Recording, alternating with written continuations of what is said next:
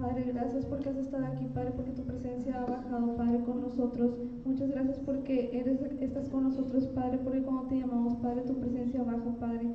Gracias te damos, Padre, porque has venido, Padre. En el nombre de tu Hijo amado, Padre, te pido que bendigas este servicio, Padre, que bendigas a cada persona que está en este lugar y que bendigas a, a, la persona que va a dar tu palabra, Padre. En nombre de tu Hijo, Padre, que la palabra que nos des, Padre, que en nuestros corazones, Padre, y que no se nos olvide y que la usemos, Padre, que siempre esté con nosotros, Padre, al igual que tu presencia, Padre. En el nombre de tu Hijo amado. Amén. Bueno.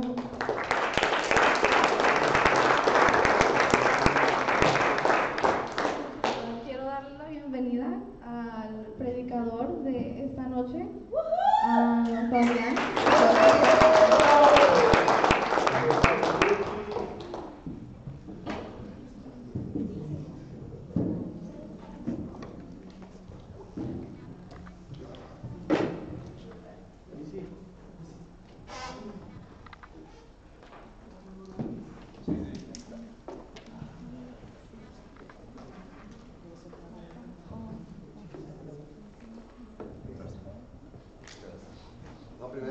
Muchas gracias por permitirme estar aquí, ¿verdad? Una vez más. estuve aquí creo que el año pasado también. le quiero dar gracias a todos, ¿verdad? Los de la iglesia también, de 35, por aquí. ¿Y cómo están todos ahorita hoy, en esta noche? Qué bueno.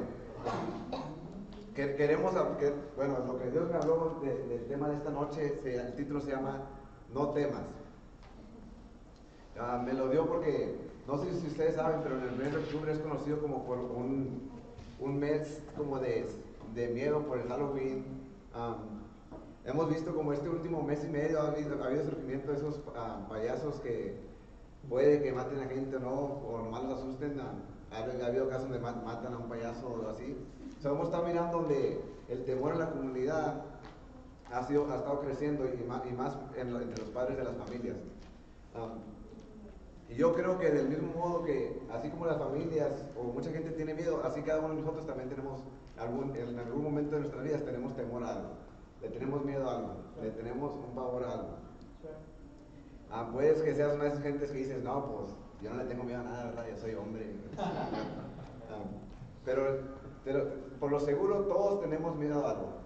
Puedes, puedes tener miedo a hablarle a las muchachas, ah, puedes tenerle miedo a la, a la muchacha que te gusta, o puedes tener miedo de fallar el examen que te toca la otra semana. Ah, es otra. Puedes tener miedo de, a lo mejor traes novio en este momento y a lo mejor traes miedo de, ¿será, será este el muchacho con el que me vaya a casar? O a lo mejor tienes miedo de, si me caso con ella, pues será lo que Dios tiene preparado para mí. O también muchas veces puedes tener miedo de este trabajo que Dios me, ha puesto en el camino, ¿será lo, que, ¿será lo que me acerque más a Dios o me va, me va a alejar de Él? Pero todos tenemos miedo a algo. Y el temor por lo general lo que hace es que te paraliza en un lugar o te hace correr de ahí. Pero, pero sabemos que aunque nosotros estemos enfrentando el temor, Dios nos escucha cada vez que nosotros le hablamos a Él, escucha nuestro clamor, que Él nos, nos, habla constantemente y que no debemos de temer porque Él va a, abrir, va a abrir el camino para nosotros poder pasar, para poder vencer. No sé si quieren abrir sus Biblias en 2 de Reyes, capítulo 6, versículos 8 al 16. Dice, así la palabra de Dios. El rey de Siria, que estaba en guerra con Israel, deliberó con sus ministros y les dijo, vamos a acampar en tal lugar, pero el hombre de Dios le envió este mensaje al, rey de Israel, procura no pasar por este sitio, pues los sirios te han tendido ahí una emboscada. Así que el rey de Israel envió a reconocer el lugar que el hombre de Dios le había indicado, y en varias otras ocasiones Eliseo le avisó al rey, de modo que éste tomó precauciones. Y el rey de Siria, enfurecido por lo que estaba pasando, llamó a sus ministros y les reclamó, ¿quieren decirme quién está informando al rey de Israel? En otras palabras, le está diciendo, ¿quién es el dedo? ¿Verdad? le, está, preguntando, ¿quién es el dedo aquí entre nosotros? ¿Quién es el chismoso? y luego después seguimos leyendo, dice, le dicen los, los ministros, le, le, le, para salir, vio que un ejército con caballos y carros de combate rodeaba la ciudad. ¡Ay, mi señor! exclamó el criado. ¿Qué vamos a hacer? A lo que Eliseo le responde, no tengas miedo, dice, nadie ni señor y rey. Respondió uno de ellos. El responsable es Eliseo, el profeta que está en Israel. Es el, es el quien le comunica todo al rey de Israel, aunque lo que su majestad dice en su alcoba. Pues entonces averigüen dónde nosotros son más que ellos. Ahí vamos a parar, ¿verdad? ¿Cuántas veces no hemos estado nosotros en situaciones donde nos podemos sentir también igual que el criado, que estamos rodeados por un ejército y para que mande a capturarlo? Cuando le informaron que Eliseo estaba en Dotán, el rey envió allá un destacamento grande con caballos y carros de combate. Llegaron de noche y cercaron la ciudad. Y por la mañana, cuando el a salir de ella, puede haber momentos donde pienses que estás, como les decía en ese momento, puede haber un momento donde estás en tus exámenes de midterms o puede estar en tus exámenes finales y dices, no, pues ya no la hice, ¿verdad? No estudié. Ah, hasta aquí ya, ya estoy bien frito, ¿verdad? Pero, pero, pero siempre, siempre no, no, les causa a ustedes como un sentido de relajamiento una vez que miran que sacaron un 80, sacaron un 90, que pasaron así. O aunque pases de panzazo, pero pasaste, ¿verdad? Um, y, muchas veces, nosotros, como les decía, nosotros nos, nos, podemos sentir temor por muchas cosas en nuestras vidas. Puede ser cosas diferentes que nosotros no podemos evitar. Y en esta historia miras donde Eliseo y su criado, su sirviente, eh, literalmente están rodeados por todo un ejército y el, el, el, el criado ya está, pues patitas, ¿para qué las quiero? Ahí no echamos, ¿verdad? Ah, pero pero se, se queda ahí parado Eliseo y le dice, los que están con nosotros son, más, de los que están con ellos. Ah, no sé si ustedes saben, ¿verdad? Pero Eliseo era un profeta de Dios, era un hombre de Dios, al que se refería al principio de cuando leímos esta historia. Era, literalmente era como si fuera el, rockstar de ese tiempo, era, la estrella de ese tiempo. Eh, ¿qué, más con ganas puede haber, verdad? Que literalmente Dios siempre te está hablando a ti y tú te vas y le dices lo demás a todos. Um, cuenta que Dios te decía, no, pues ve a, a este que, me, que, se va a morir mañana y se muere, se moría mañana. o literalmente les, hacían algo a los profetas de Dios.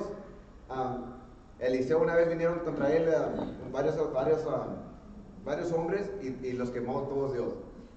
Así, así de, fuerte eran los ministros de Dios. Eh, tenían algo especial, tenían, eran respaldados por Dios en otras palabras. y Dotán, donde, donde, donde, estaba Eliseo, está exactamente a 10 kilómetros de Samaria. y eso se lo va a recordar hasta el final, ¿verdad? Pero lo primero que tenemos que saber es que Dios nos escucha cada, cosa que nosotros digamos. No, no estoy diciendo que va a ser lo que tú digas, pero siempre, siempre te está escuchando. Y en 2 Reyes 6:15, si pusieron atención, dice que por la mañana cuando el criado del hombre de Dios se levantó para salir, que vio el ejército con caballos y, y, carros de, de, combate que rodeaba la ciudad. Y él gritó, ay mi Señor, ¿qué vamos a hacer? no sé si te has enfrentado en un momento en tu vida donde tú digas, pues, ¿qué hago ya, verdad? Ya no, ya no sé ni qué hacer. te puedes encontrar en momentos donde literalmente no mira, como decía hace rato, no mira salida. y el sirviente estaba en ese momento. En ese momento. Yo imagino que estaban en la casa y pues el, rey, el rey de Siria dice que envió todos, envió su ejército grande, envió un ejército grande, literalmente yo, pienso que estaban todos rodeados alrededor. En ese momento era como tipo rancho, ¿verdad? estaban nomás las cercas así, no, había aguas, no había, no había, nada, nomás estaban así rodeados. Y pues al, al, verse, al ver el criado por la mañana que estaba rodeado, se asustó y fue, con, su maestro, con su, se puede decir con su teacher, su maestro en ese momento. Y, él estaba lleno de espanto, estaba lleno de temor y de, miedo. ¿Saben ustedes qué significa el temor? El temor es un sentimiento de inquietud y angustia que mueve a rechazar o a tratar de evitar las cosas que se consideran peligrosas, arriesgadas o capaces de hacer daño. por ese motivo se me hizo bien interesante que, usara esa frase Eliseo que le, dijo, que le dijo, no temas, que los que están con nosotros son más que los que están con ellos. y es algo tan común que pasa entre nosotros que sentimos temor. Estaba, hablando con pastor en la mañana y, me, estaba, me estaba interrogando, ¿verdad? Me estaba diciendo, ¿de qué vas a hablar? Y decía, o de la, de la Biblia, ¿verdad?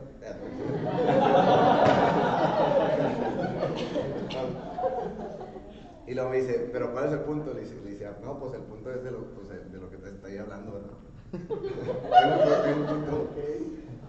Es que la verdad, verdad yo, yo, le estaba compartiendo el rato cuando, cuando, cuando, me toca hablar con un pastor y de lo que me toca hablar me pongo bien nervioso yo. Um, y, me empieza a preguntar así y luego me empieza más a preguntar pastor y luego me, dice, me dice, el temor que, normal digo, pues es algo que no más sientes, que no se evita, ¿verdad? Y, y, es algo que, como, como así le dije a pastor, como es algo que, que, no, que, no, que no puedes evitar, que solo viene, pero tú sí puedes decidir cómo, cómo la vas a tratar, qué tanto tiempo vas a vivir con el temor. En pocas palabras. El temor te, el temor te puede, te, ¿cómo le puede decir? Te puede encerrar en, en, en, un, en un, ciclo que, que, solamente Dios te puede sacar. El, el, que te libera de ese temor es Dios, en pocas palabras. Um, y, ta, y, tal vez yo imagino que en ese momento cuando miró todo el, todo el, ejército alrededor de ellos, um, si, si, se ponen a pensar, si, o si estudian el, la historia de Eliseo, él tenía otro criado antes de este y, ese se, se, había muerto porque lo, lo había traicionado. So, yo me imagino que al, momen, al momento que, viene, bueno, no se había muerto, se me olvidó, le, dio lepra por, por, haber traicionado a Eliseo. So, cuando, cuando, al momento que mira el ejército, yo me imagino, pues, ¿qué hice, verdad? ¿por qué me castigas, verdad? Ahora, ¿qué hice con Juan Elisa Tomayo? ¿Qué hice? Pero yo, yo, yo pienso que, que, no era un castigo de Dios, sino era más como una prueba o para, para una manifestación de Dios para que él supiera quién era Dios en su vida. Y si, si ponieron atención también al verso 14, algo bien interesante que me, que me captó la atención es que los sirios vinieron, vinieron de noche. Era algo poco común porque, como les decía, no tenían agua, no tenían linternas, o literalmente iban a ciegas, iban a ciegas ellos. No podían ver, no, ten, no tenían uh, visiones de noche, no tenían x-rays, no tenían na, nada de eso. Y la noche, me puse a estudiar qué significaba la noche, y la noche puede llegar a significar un mundo sin la pre presencia de Dios, aflicción, o también puede llegar a, significar adversidad. ¿Y cuántos de ustedes no, han, no, no, han, no se han enfrentado a la adversidad o aflicciones en su vida? Yo pienso que todos, ¿no? Pero después en el verso 15, como leímos ahorita, que el criado vio por la mañana, o en otras palabras, en otras traducciones dice que cuando salió el sol, en el, al, al, salir el sol, la primera luz del día, él miró todo el ejército, el, ejército que lo rodeaba. Y algo que me puso a pensar desde, que, lo, que lo miré es que la, todos sabemos que nosotros somos llamados a ser la luz de este mundo, ¿verdad? Pero la Biblia dice que la, luz, la, luz, la mera buena, es Jesús. El que alumbra tu camino es, es Jesús, en otras palabras. So, yo me puse a pensar y me puse, y me puse a, bueno, sentí más bien en mi corazón que, que la razón por la que ellos alcanzaron a mirar el ejército, porque literal, literalmente ellos en cualquier momento los podían atacar y los podían matar en la noche. Pero Dios les, dio la oportunidad de poder ver todo lo que los lo rodeaba a ellos, porque tenía un propósito aún que tenía que cumplir a, a, través de la vida, no solo de Eliseo, sino de su criado también. Tenía, tenía, su, su propósito aún no se había cumplido aún, en pocas palabras.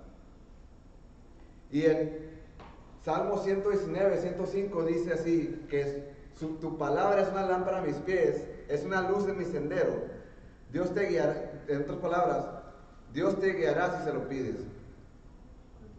Algo que, que me mostró Dios al, al leer ese, ese, versículo es que la, la, la manera que, que, respondamos a las situaciones, al temor y todo eso, puede, puede, dictar, puede dictar la situación. Tú puedes decidir, por, por cómo respondas, puedes decidir o puedes llegar hasta un punto. ¿Sí me entiendes? Y estuve, estuve buscando quotes y todo eso, ¿verdad? Como dichos. Y me encontré uno que, que dijo que la vida es 10% lo que te sucede a ti y 90% lo que sucede a tu alrededor. Y me puse, me puse a pensar que muchas veces nosotros estamos tan seguros que no, pues a mí no me va a pasar esto, nunca va a pasar, nunca, nunca, bueno, nunca, nunca te voy a fallar, Dios.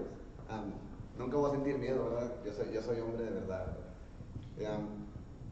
Pero después pasa algo a tu alrededor, pasa algo con tu mamá, pasa algo con tus hermanos, o pasa algo con tus amigos, y muchas veces sientes temor, o, sientes angustia, o sientes, te sientes afligido, te sientes cansado, te sientes que ya no puedes más. ¿Por qué? Porque lo que te afecta más que nada es lo que te sucede a tu alrededor, por la gente, la gente que amas, lo, que te importa, lo que realmente te importa a ti. Es lo que más te afecta en, nuestras vidas. Y sabemos también que, aunque nosotros le, hablemos a Dios cada vez de, nuestras vidas, Él siempre está ahí con, su oído escuchándote y esperando a que tú le hables. Pero ahora sabemos también que Dios responde de muchas maneras, que Dios te habla. Y en el verso 6 y 16 dice, no tengas miedo, Eliseo respondió, los que están con nosotros son más que ellos. ¿Nunca te ha parecido algo que te dicen que parece demasiado bueno para ser cierto? a, mí, me ha pasado una vez, muchas veces, que mi papá me prometía, cuando, recién salió el PS3, el PlayStation 3, mi papá siempre me decía, no, te lo voy a comprar para la, para la otra semana, me dijo la primera vez. Yo le dije, espérate que la otra semana, y luego llegó ese día y nunca me lo compró, ¿verdad? Y luego llegó, llegó, llegó la siguiente semana, me dijo, no, la siguiente semana. Ya para la tercera semana me, me decía, ¿vendes? Me dice, no. Me dice, pues me hubieras dicho que vendías para comprártelo a ti mejor, a veces ya la tienda. Pero muchas veces así pasa en nuestras vidas que puede llegar promesas de Dios a nuestras vidas, pueden llegar cosas a nuestras vidas que nos parecen demasiado buenas para ser ciertas. Te puede dar visiones Dios en algún momento de tu vida y tú dices, nah, no creo, ¿verdad? Nunca voy a estar ahí, no, no, me falta, te falta mucho pegar ahí que te pueden decir otras personas. Pero lo que no importa lo que tú pienses, sino lo que diga Dios en tus palabras. Si, Dios quiere, tú llegas ahí. Si, Dios te, ha destinado a llegar ahí o tiene ese propósito para ti, tú vas a llegar a, ese lugar. Lo que te tardas para llegar ahí, eso depende de ti. Y el, y el, y el criado solo miraba a Eliseo al, oír esas palabras, yo imagino, y quería correr de ahí. Yo, yo me recuerdo también, ¿algunos de ustedes han peleado box? ¿No? ¿Verdad? Yo, yo, me recuerdo, me recuerdo muy bien mi primera pelea de box. peleaba allá en Nuevo Laredo y se llamaba, el lugar se llamaba eh, La Posada, bueno, se llamaba Posada, se apellidaba Posada el señor. Pero me recuerdo que duré dos semanas ahí entrenando, tenía como 13 años yo. Y nunca fui esos como que le gustara buscar peito ni nada, pero sí me había peleado antes, ¿verdad? Y pues la mera verdad nunca había perdido una pelea, ¿verdad?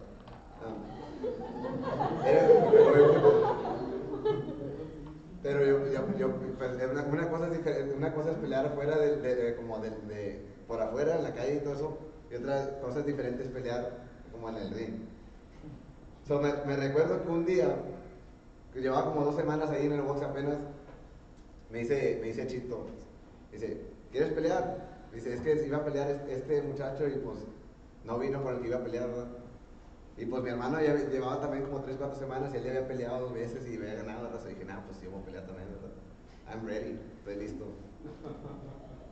So, recuerdo que, que me subieron y apenas nomás soltaron el LED, sonaron el LED y apenas iba a soltar uno, más sentí que me empezaron a entrar todos los golpes y que, ah, ¿qué onda con esto?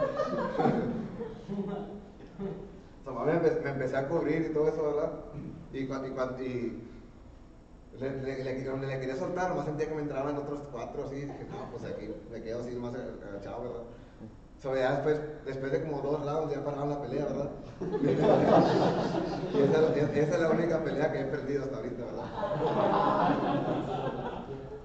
Pero la, la primera y, y, después de eso ya nunca quise regresar al box. um, pero muchas veces así, así, así parece nuestra vida de que te llegan golpes por todos lados. Y que no, no, no hayas ni cómo, que, que tratas de soltar uno tú para atrás y te entran otros cuatro más, otros cinco más, y, y nomás te quieres agachar así. Pero algo que nos, que nos muestra e, ese momento es que la confianza en Dios, si pones tu confianza en Dios, Dios nunca te va a dejar abajo. Él te va a dar las fuerzas para poder sobresalir en cualquier momento de tu vida. Y, el, y Eliseo le dice a su sirviente, los que están con nosotros son mucho más que los que están con ellos. Y luego yo me imagino también que el criado le dice, pues ¿dónde están, verdad? ¿Dónde están todos? ¿Dónde está la esquina? y, y, yo imagino también, pues, era Eliseo y su criado, pero yo imagino que tenía varios otros criados ahí en ese momento, en ese momento. Pero ninguno de ellos estaba entrenado para pelear. Nadie, ni, ni Eliseo. Y se iban a enfrentar contra contra todo un ejército de, los sirios. Pero la buena noticia es que aunque nosotros también tengamos limitaciones, nuestro Dios no tiene límites. Es un Dios sin límites. Es un Dios sobrenatural. Y podemos tener la confianza de que, así como dice su palabra en 1 Juan 4:4, que mayor es el que está en ti que el que está en el mundo. Salmo 91, 7 al 9 dice también que podrán caer mil a tu izquierda y diez mil a tu derecha, pero a ti no te afectará. Ya que has puesto al Señor por tu refugio, al Altísimo por tu protección. En, otras palabras, al leer ese versículo, te puedes dar a entender de que si pones tu confianza en Dios, Él te va a proteger y te, te va a guardar. Si pones tu confianza en Dios. Pero muchas veces nos ponemos nuestra confianza que en el bestie, que en la comadre, ¿verdad? en, en, la, en, la, amiga, en, tu mamá. Y al, mero último ya dices, no, pues ya traté todo lo demás, vamos, vamos a ver cómo, qué hace Dios en esta situación. Y, se, y, se, nos olvida que también en, Isaías 54 y 7 Dios nos dice que ninguna arma forjada contra nosotros prosperará.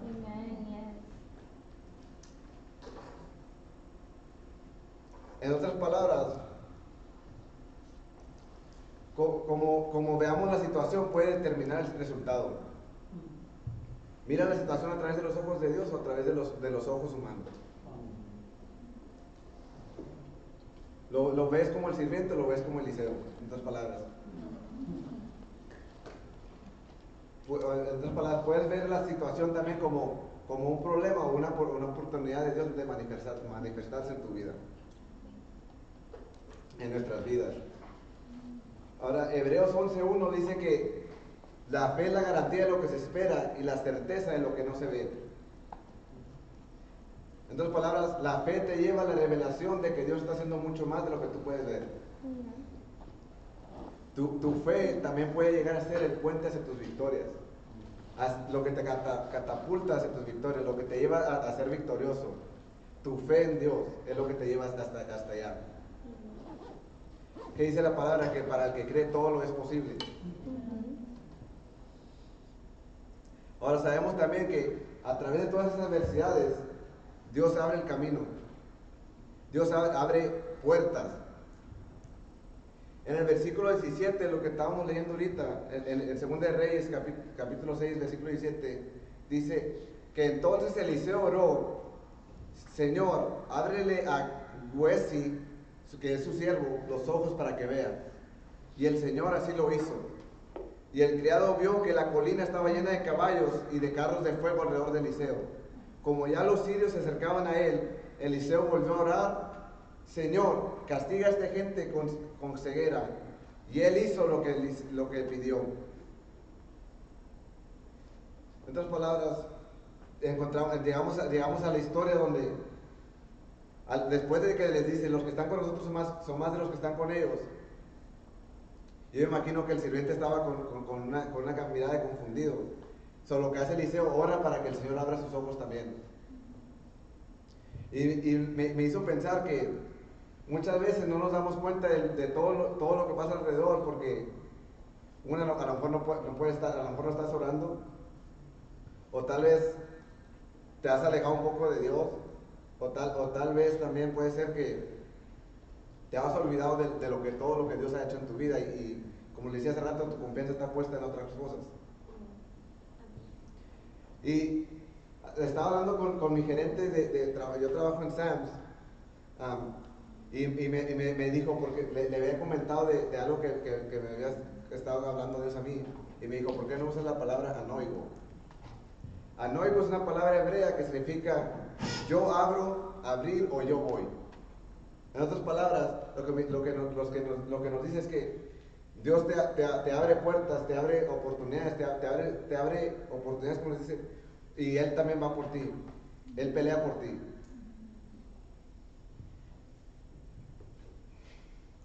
Y, muchas veces el, temor que nosotros podemos llegar a sentir nos puede te puede detener te puede detener a llegar hacia lo que Dios tiene preparado para ti o por lo menos alarga el proceso para llegar ahí, te tarda para llegar ahí más. y yo, yo, estaba pensando y estaba orando con Dios, porque literalmente para mí no era fácil hablar del temor, porque yo estaba compartiendo a todos. A, mí cuando, yo me pongo nervioso cada vez que hablo. Y cada vez que hablo me, da ganas de ir al baño. y, cada vez que, bueno, les voy a decir cuál es mi mayor temor. Mi, mayor temor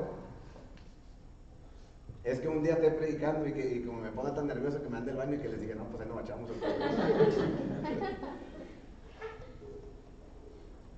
Pero como les decía, todos tenemos un, temor.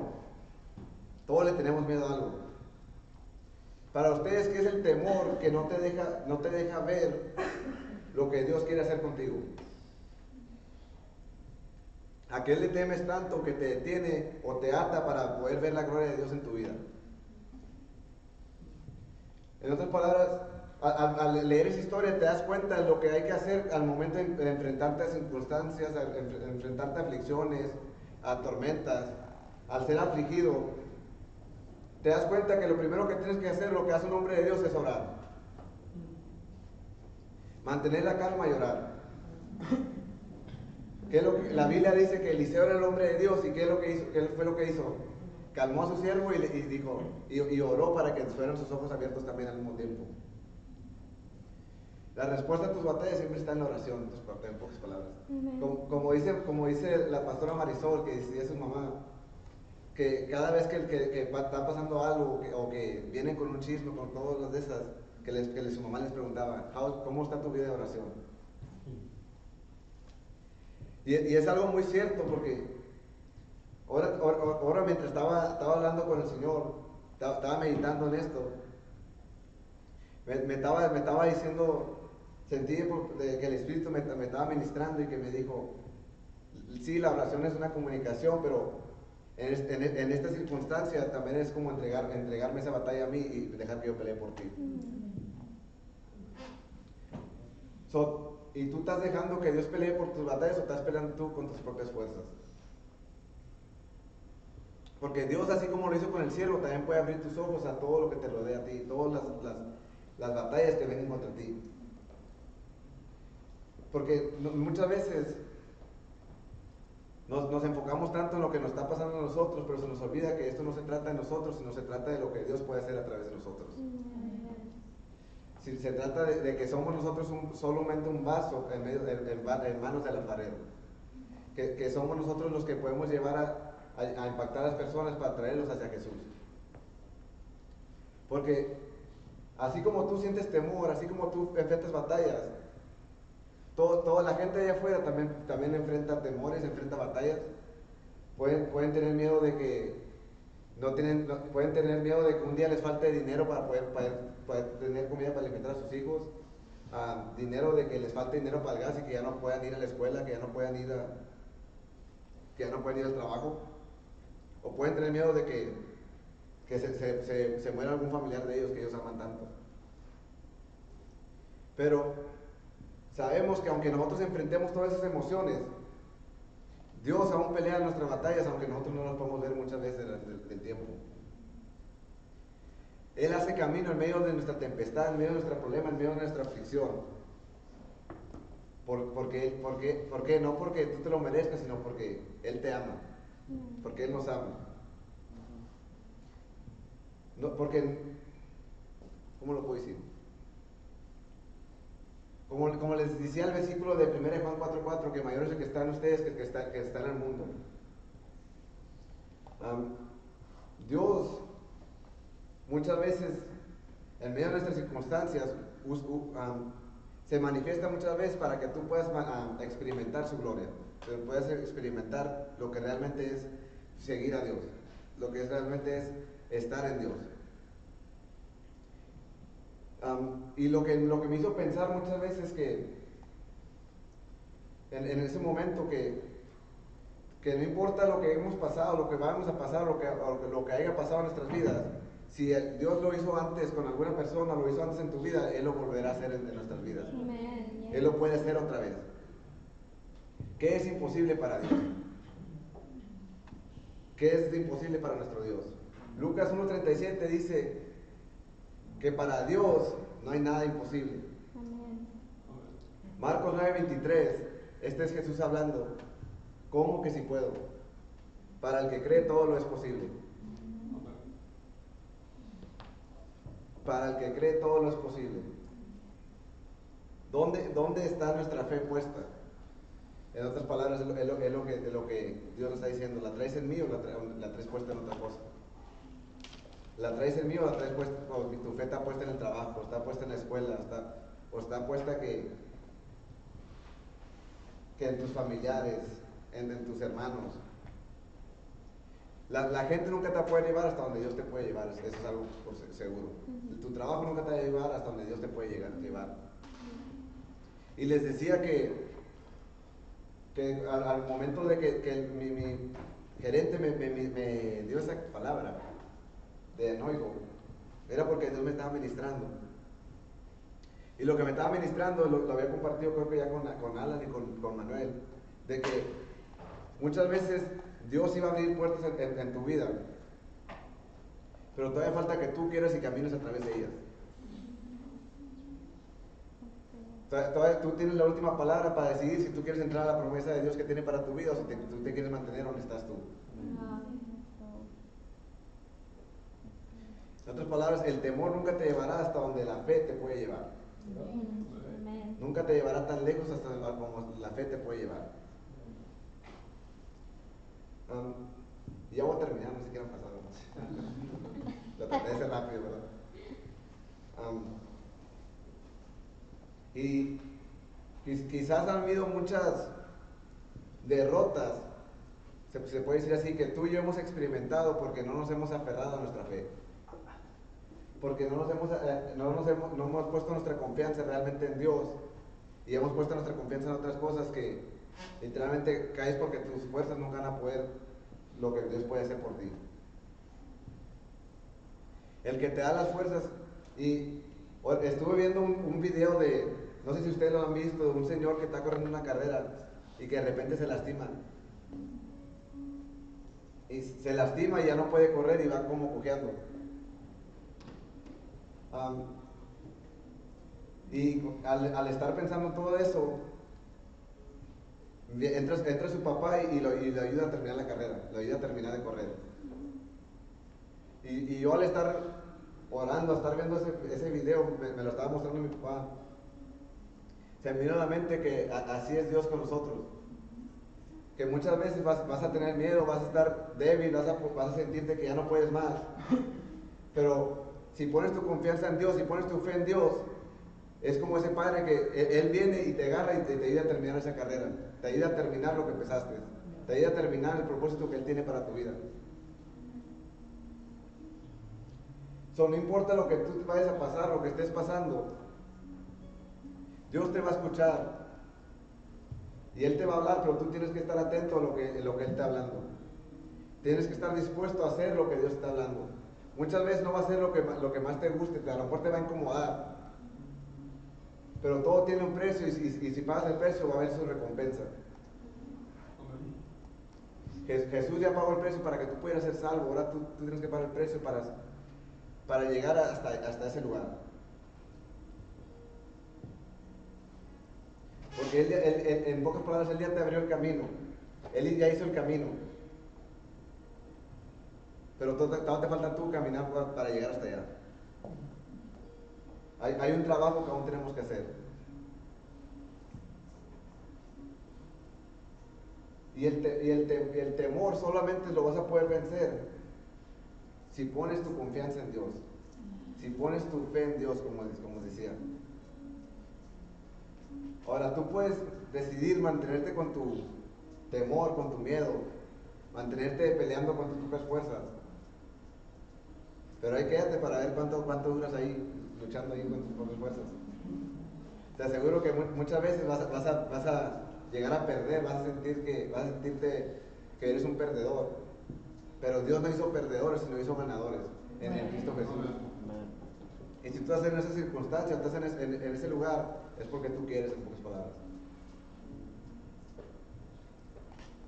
So, les invito que cualquier temor, cualquier angustia, cualquier aflicción, cualquier batalla que ustedes tengan,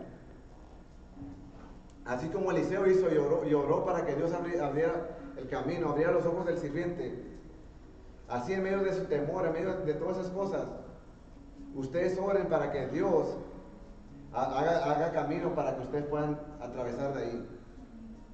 Porque si termina la historia, si terminan de leer la historia hasta el capítulo 20, dice que los sirios, después de que Eliseo oró, sus mentes se confundieron y ellos terminaron llegando hasta Samaria.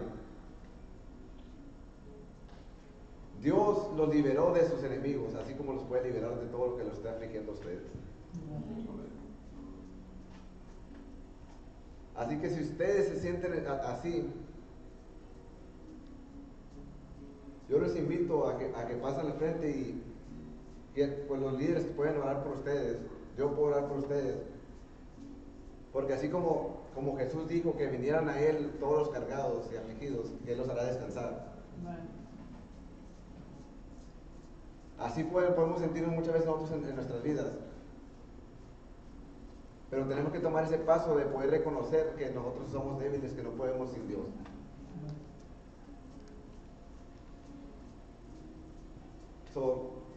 los, invito a que pasen al frente si, si necesitan oración, lo que, lo que necesiten. Que porque, porque Dios aún no ha terminado con cada uno de nosotros. Sino porque estamos en el proceso. El único que se puede llevar a terminar es Dios.